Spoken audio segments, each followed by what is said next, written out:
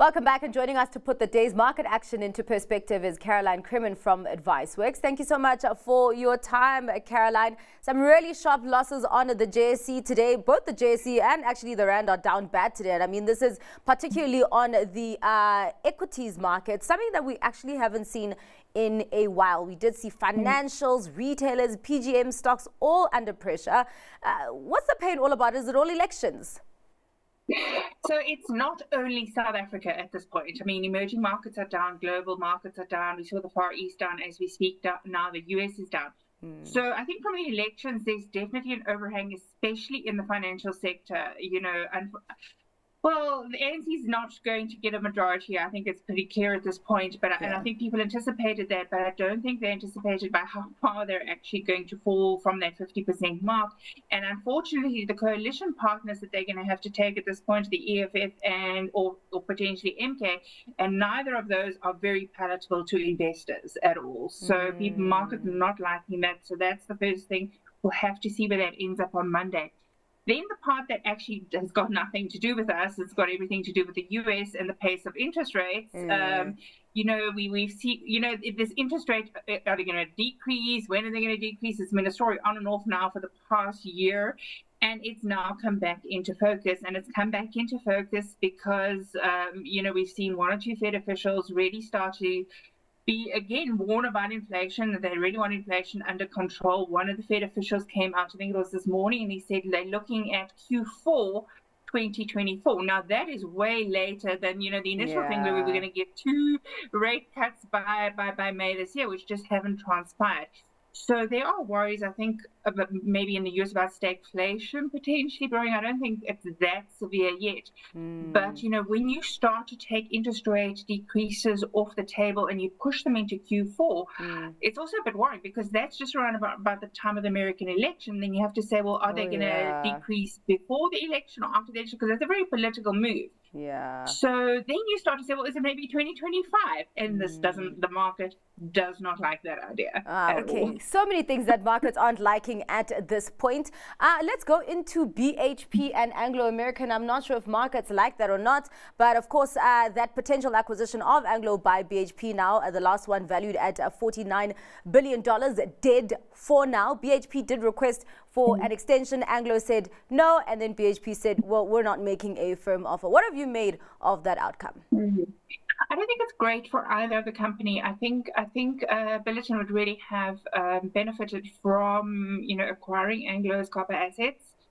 Uh, that said, uh, they are a company. They're very very cautious about the deals they they, they put through. So and they can come back in six months. I mean, this is not hmm. necessarily mm. off the table. Maybe six months is is time for behind the scenes negotiations to take place. For Anglo, you know, the market obviously didn't like the fact that, you know, it dropped. You know, people always like corporate actions of mm-hmm. this type. But I think it's actually potentially a good thing for Anglo because if they now they now they've got time to put their money where their mouths are. You yeah. know, and, and really right size that company. And I've been a big proponent of the fact that this was a nice big shake up for them. You know, if people mm-hmm. are older and you will not remember this, you're far too young, when Nedbank tried to take over Standard Bank you know, mm. a couple of decades ago. Yeah. And Standard Bank really got its act into gear. And I think that this Anglo thing might actually be the same. Um, so mm. Good, maybe for them, but yeah. share price not positive. Yeah, not yeah, not positive at all. Um, mm. Something else that wasn't positive is the bottom line of Zeda Although they did see double-digit revenue growth, that didn't quite filter through to the bottom line. We did see that growth disappearing uh, over yeah. there, but they did manage uh, to uh, declare an inaugural uh, dividend uh, since their listing. Talk to me about Zeda Yes, I think it was that bad actually looking at it. Um, so for Zeda, people don't know they, they own and Budget rent a car. So, you know, and, and what, what is actually quite nice about this is, you know, we're not in a great economic space at the moment locally. And but we also are coming out of you know the COVID thing. People are starting to travel for business more. So car rental was up, leasing mm. was up. They're seeing demand in Greater Africa. So I think considering the economic environment we're in, I don't think it was shabby a shabby set of results.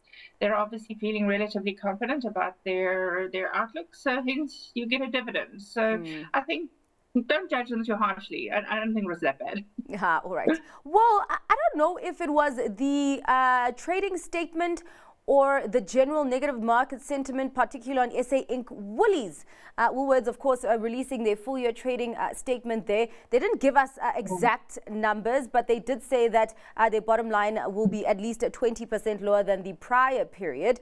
Uh, what do you make of that, particularly mm-hmm. also considering that in the prior period there was the inclusion of David Jones?